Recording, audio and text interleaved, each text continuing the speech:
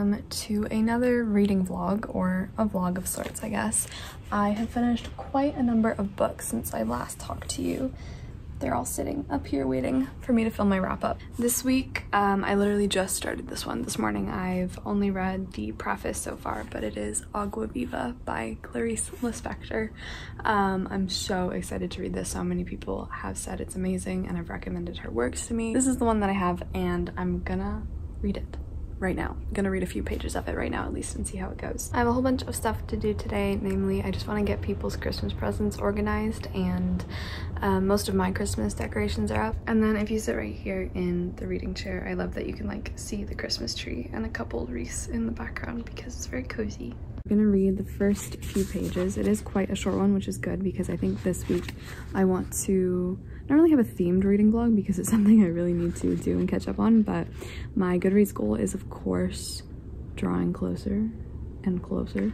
Um, but tomorrow is the first day of December, so I have a month to complete it. By the time you see this video, we will of course have shared our exciting news, the Dark Academics, um, our December winter festive holiday plans, but I'll also be sharing my TBR in this vlog, I think, once I have it figured out. This morning, I'm actually doing something a little bit different, but I thought I would just sit down and film it anyway because at least I'm I'm very very excited about this. But for the past few days and like weeks honestly I've been wanting to get back into flutes and start playing again because I miss it so much. It's been such a long time. Um it's been years since I've like really dedicated time and energy into getting good again because I used to be really good because for years, for like three or four years, I would play for hours and hours every single day. But um, obviously then I went into uni and then I got a concussion and then just things, you know, I just didn't pick it up for a really long time. But I have recently just missed it so much and have wanted to play again and get good again starting some New Year's resolutions a little bit early, but I literally have scores and scores and piles and piles of music to go through. To maybe sort them. I know I have a lot of, oh, so so many Christmas pieces and so much of it is from band because when I was playing the flute a lot I was in band, I was in full orchestra, I was in jazz band um, so like there's just a mess of music to go through and I at least want to pick out a few pieces to play and learn to get good at again because I miss them so that's what we're gonna do. All right so this is the first stack. Yep okay so I don't know if I'm gonna go through them all with you guys because that's probably not exciting, or maybe it is, I don't know. But first up, we have Siciliano, which, yes, I'm gonna put that in the want to play and practice and learn again pile. That was an exam I had.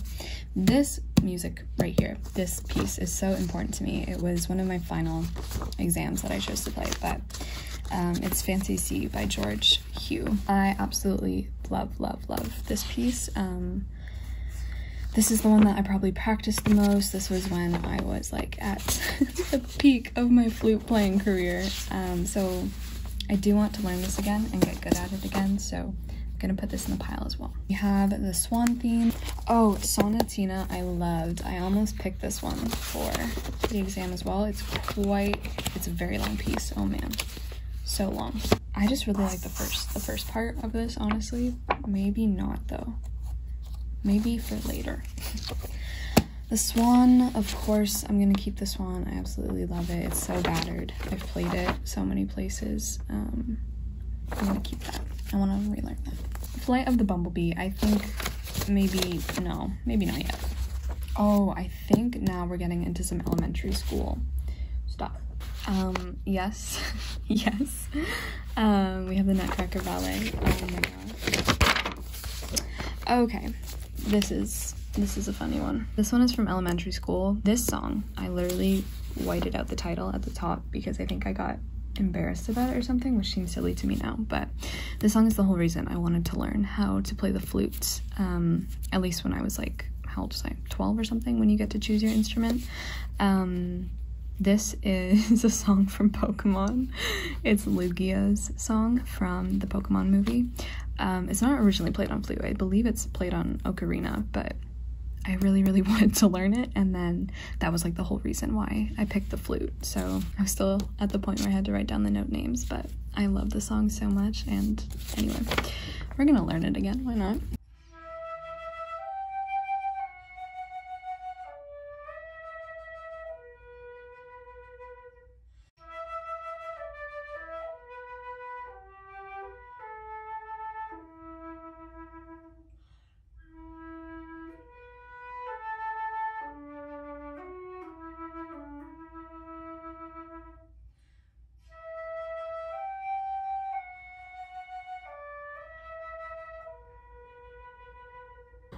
So I just got back from my walk. I feel very scammed. There was a snow warning. We have a snow warning. And I was like, oh my gosh, I need to go out there right now, experience the snow. But when I went out, it wasn't at that point yet. And it was all just heavy rain, if that makes sense. Like right before turning to snow. But now, as I'm looking out the window, I can see the snowfall. That was a very not fun walk and I feel so scammed because now it is snowing so much. But now I'm just chilled to the bone. I'm freezing. I cannot get warm. So I'm gonna go throw all my clothes in the bathtub because everything is just wet and then I'm gonna put on my pajamas and make some hot chocolate maybe because I'm.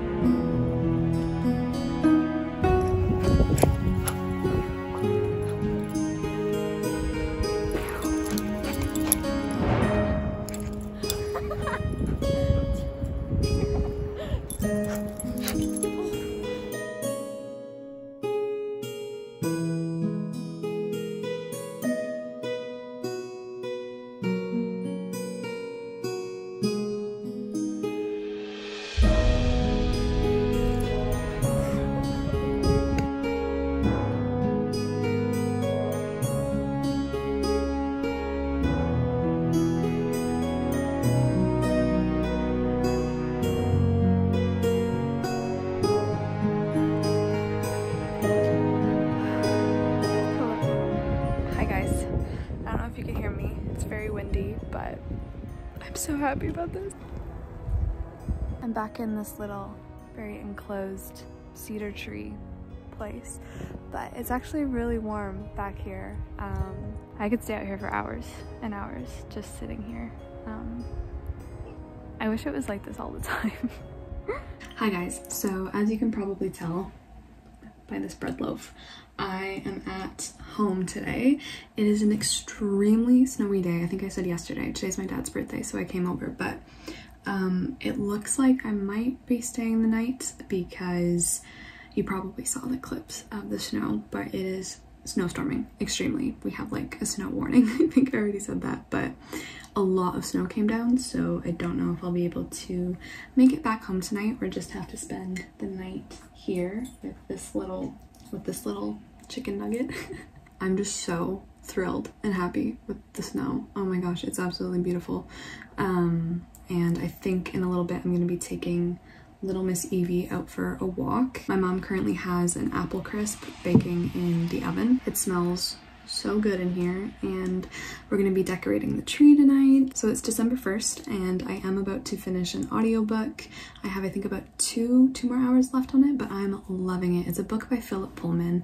I don't think it's a wildly popular one of his, but it's called Count Karlstein and I'm loving it. It is hilarious, but it's also quite spooky. It's this weird gothic tale with so many elements of weird humor. It's kind of like a slapstick comedy with horrific gothic things going on in it. It reminds me a lot of Monty Python. It kind of just feels like a compilation of sketches um, featuring vaguely gothic fairy tale mythological things because we're kind of following these two girls named Lucy and Charlotte and they live with their uncle Count Karlstein up at the castle but he wants to I guess cement his power and his hold as the rightful heir of the castle. It's kind of like a transo, I don't know.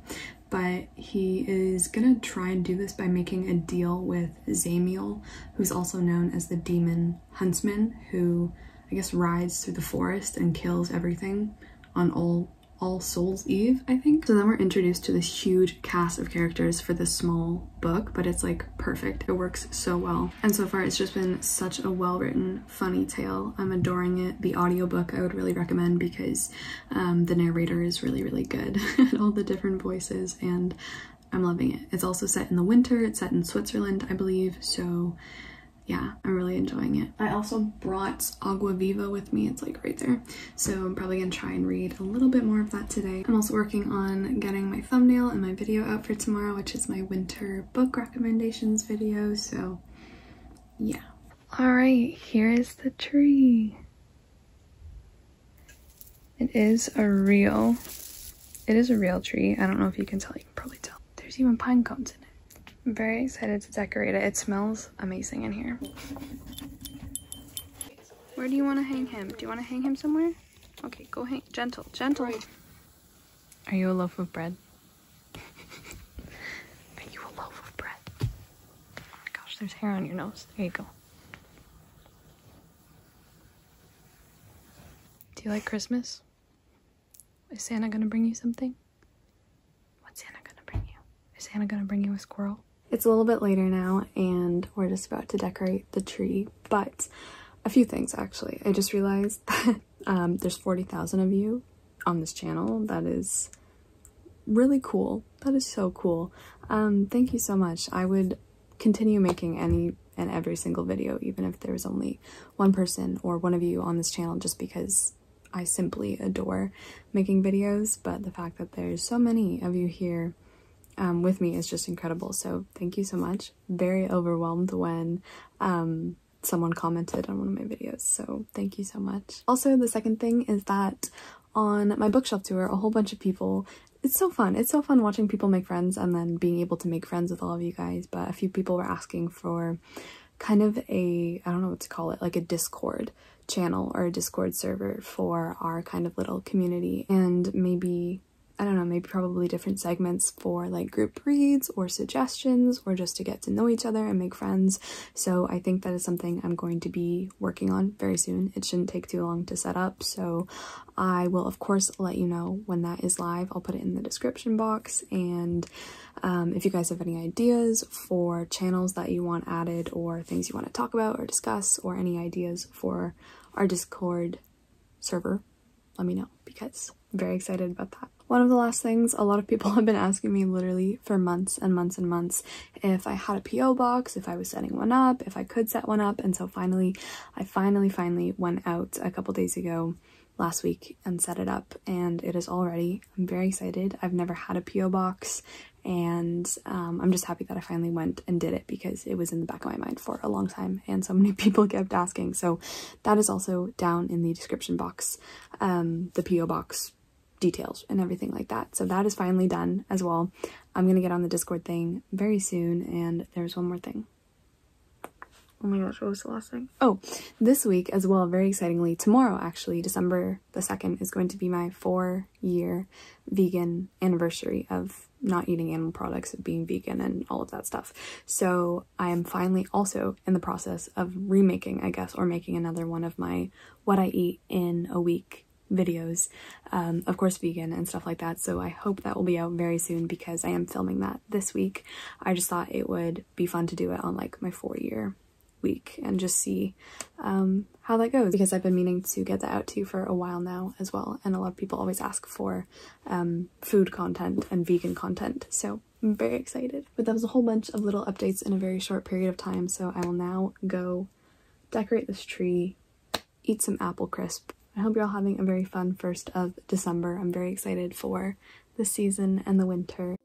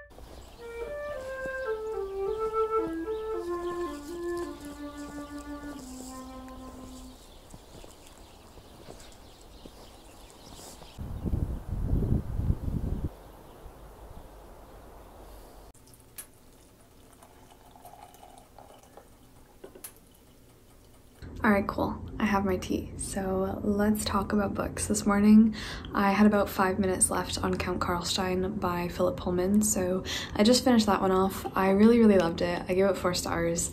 I think I might look into getting the actual copy of it because I believe it comes with illustrations, which would be amazing. But yeah, like I said, it was just so funny um, and so interesting and there were so many storylines for such a short book but Philip Pullman arranged it all so perfectly. Um, it was actually one of the first children's and middle grade books he wrote. It was the first I think because he originally intended it to be a play to be performed by his class actually of English students that he was teaching when he was an English teacher so that's really interesting. It came out I think 1982 but I really liked it. I have to say I really liked it. So I'm so glad my first Christmassy read is a good one because there was lots of snow. It's set in the winter. It takes place over the course of three or four days leading up to All Souls Eve, which I was talking about. So I really, really loved it. Okay, but to talk about the masterpiece, Agua Viva.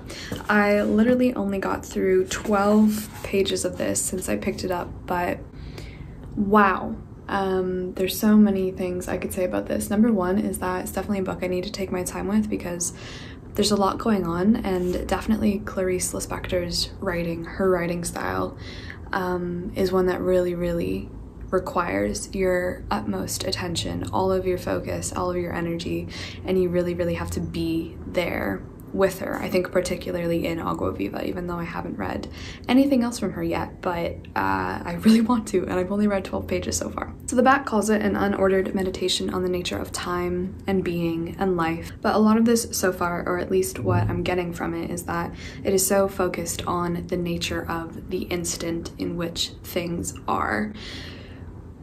How do I say this? Like the putting down of a moment that is just a moment and there's no ableness to latch on to the present moment because the present is by its very nature something you can't have for any longer in that one little instant, not even millisecond in which you have it. And that is what Clarice Lispector here is trying her hardest to show us and to grab onto these vibrations that make up life and kind of this question that can you ever experience a moment or your life. One of the things I think kind of helps to explain it a little more is the quote that starts off this book. She also talks a lot about painting um, within Agua Viva as of right now. So the quote is There must be a kind of painting totally free of the dependence on the figure or object, which, like music, illustrates nothing, tells no story, and launches no myth. Such painting would simply evoke the incommunicable, incommunicable, incom Such painting would simply evoke the incommunicable kingdom, thank you, of the spirit, where dream becomes thought, where line becomes existence. So, I thought this one was really nice too, and kind of seeing a little bit of that theme and how um, trying to experience yourself or anything in the present moment is a little bit of a futile act because the present is the instant in which the wheel of the speeding car just barely touches the ground and the part of the wheel that still hasn't touched will touch in that immediacy that absorbs the present instant and turns it into the past. I, alive and glimmering like the instant, spark and go out, alight and go out, spark and go out. So far there's a lot in here that's reminding me a little bit of some ideas and some philosophy and some works of T.S. Eliot in particular. There's a little bit of Rilke I see in here. And what was the other one? Maybe Samuel Beckett? Samuel Beckett? Endgame? Maybe maybe. I think this is going to be a super interesting experience. I'm so excited. I'm only on page 12, but I think right now I'm going to sit down and read a couple more pages at least because it's only 88 pages long. So yeah, I'm really, really loving this though. Because I finished Count Karlstein, I started another audiobook. I started Giovanni's Room by James Baldwin. Very excited. This is my first James Baldwin book um, yet, although I've heard a lot about him and a lot about him in other collections I've read this year. I really have no good idea of what Giovanni's room is about. Other than that, we're following this young man named David. It's set in the 50s in Paris, and he's reminiscing about his life, about his time growing up with his father and his aunts, and his relationship with this man named Giovanni. So those are my reading updates. I will try by the end of this week to update you on the Dark Academics Readathon. I'll put our bingo board um, in here somewhere, probably tomorrow, because I'm very excited for readathon. I think it's gonna be a really cozy, fun one. It's a very chill, little, slow, meandering monthly thing. So nothing big, nothing huge, nothing stressful. Um, so yeah, I think right now I'm gonna go stretch, maybe work out a little bit and figure out figure out what I'm gonna read for our readathon. Hi guys, it is Friday. Welcome to Friday. I have a lot of things to talk about before I close off this vlog. I have some reading updates. I also went to the bookstore tomorrow yesterday. Oh my gosh, I'm exhausted. Yesterday, I went to the bookstore because I had to pick up a couple books for the Dark Academics Book Club. And of course, right now, I will also tell you what my December TBR picks are for the bingo board, which you can find up on our Instagram page as well if you would like to save it or look at it or do any of the prompts yourself with us for the holiday-a-thon. Um, we would love that. And of course I will be doing them. So I thought I would go through them, mention them all, say what books I'm doing for them. Anyway, I'm just gonna talk for a little bit. I hope you're cozy. Um, I hope you've enjoyed the vlog thus far. But as for Agua Viva, I'm now 16 pages through. Um, this is actually insane. it's a very insane, crazy book in the fact that like, just like genius kind of crazy. Do you know what I mean? Like her writing is actually, wow. Like it, there's a lot, lot going on. Let me see if I can find a few other um, places that have just been incredible. This one I've absolutely loved. Uh, so writing is the method of using the word as bait. The word fishing for whatever is not word. When this non-word between the lines takes the bait, something has been written.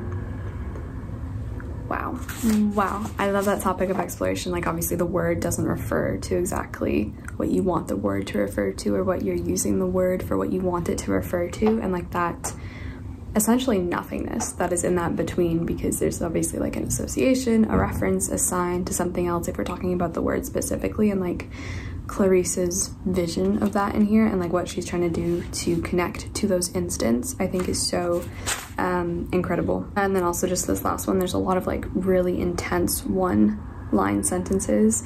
Um, time is the duration of a thought. There's just a lot in here that like you read and then you just have to stop and consider it and you can't really go on because your brain is just struggling along and muddling through um, what she's laid down for you. So still loving it. Not very far through. This is definitely one that I'm trying to take my time with. So loving it. Absolutely loving it. I've been trying to get my bangs like all week to do this cool swoopy side thing, but like they don't really listen. Anyway, uh, what else am I reading? Giovanni's Room by James Baldwin. It's uh, really good. The writing, first of all, just to speak on the writing, beautiful. Literally so beautiful. I think this might be a book, Giovanni's Room, that I'm gonna try and just get a physical copy because I think by the time I finish it, I would like to own it. The writing is beautiful. It punches you in the face the whole story just punches you in the face because uh, wow, I don't think I even said what it was about.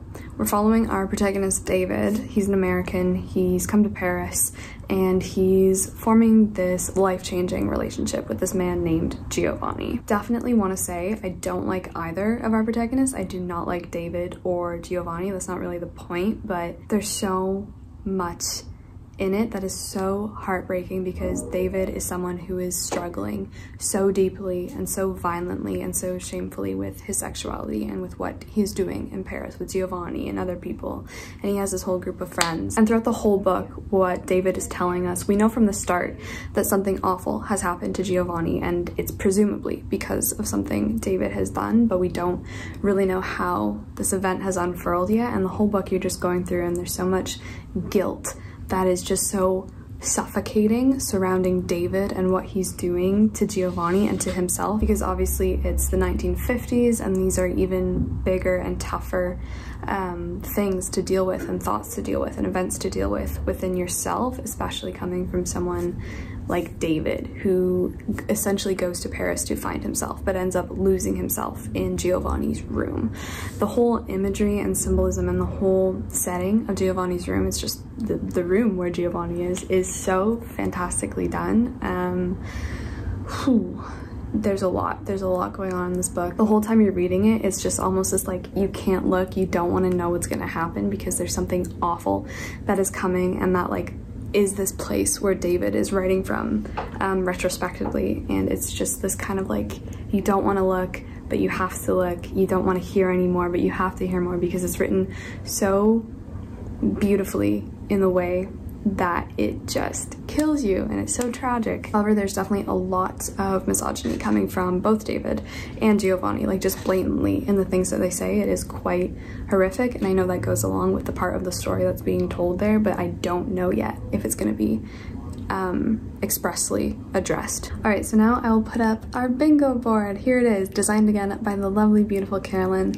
Big shout out and thank you to her once again. She always just puts so much love and energy and work into um, our graphics and stuff. So here it is. Um, I'm going to show you what I got yesterday because they are our two group books for December. Um, if you haven't heard on the gram or anywhere else, we are reading two books. Uh, the first of which is a very new release. I'm incredibly excited. I had to go out and get it because my order was actually canceled, so I had to go into the store. Um, it was the quickest book shop of my life. I just ran in, got what I needed, ran out because things are starting to get quite busy um, now that it's December, but it is These Violent Delights by Chloe Gong.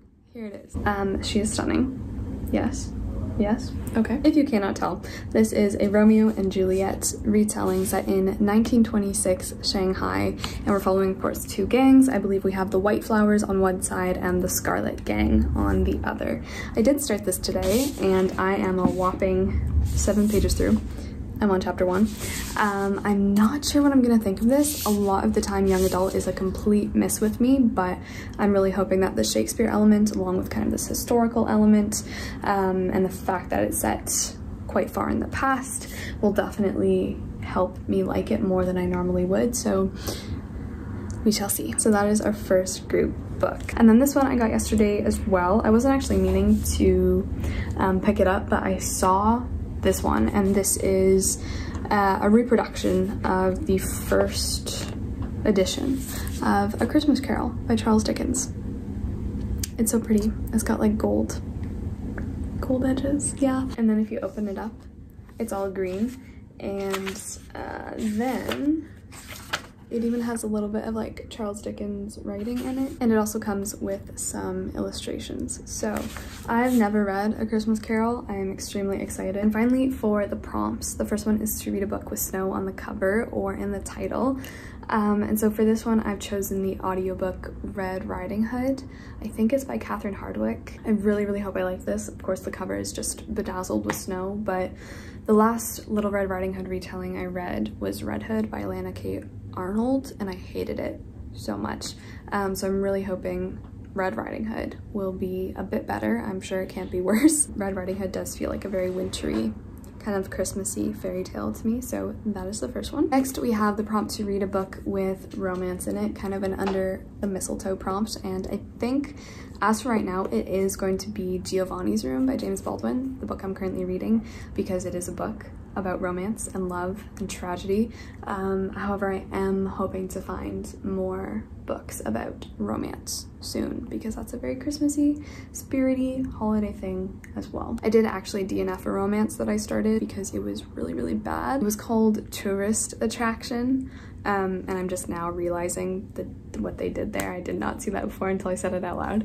Um, by someone I forget who the author was, but the premise was like this girl comes to Alaska and falls in love with an Alaskan local, um, but it just was not very good at all. It was quite cringy. And then we also have the prompt to reread an old favorite because Christmas time is very nostalgic. You want to get back to what you love. Um, I don't know if this qualifies as an old favorite, but I read this last year, fell in love with it head over heels. I feel like I meant heels, heels, wow. I feel like I mention this all the time, but it is The Dark Descent of Elizabeth Frankenstein. This could also be used for the prompt of romance because there is, of course, the relationship between Elizabeth and Victor and yeah, there's just a lot going on in this book. Uh, I know it's being turned into, I don't know if it's a movie or a TV series. I think it's a TV series. Um, if anyone is out there listening, I would love to be in this. Please, please cast me. Um, I could do it. I will do it. I will do it for free even. But yeah, when I read this last year, I absolutely loved it. Not sure if it's gonna stack up to my opinions now, but we're gonna find out, I guess, because I do have the audiobook on hold once again. I think those are finally all of my reading updates for right now. I'm feeling quite exhausted, so I think I'm gonna go have a nap. I'm feeling quite anxious, so anxiety always makes me feel exhausted.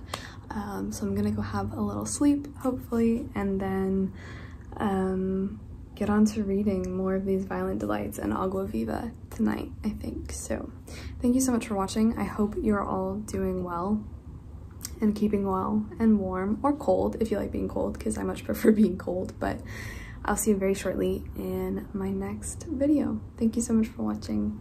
Love you all so much. Ciao.